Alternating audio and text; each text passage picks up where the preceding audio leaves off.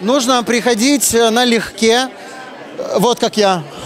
Что это за туристический рюкзак у тебя? Да нет, я просто вышел на самом деле с, э, с такси, а в гримерке, гримерки в другом крыле находятся. И я с, рюкзаком, это не, об- не часть образа. Ну, Выглядит как часть образа.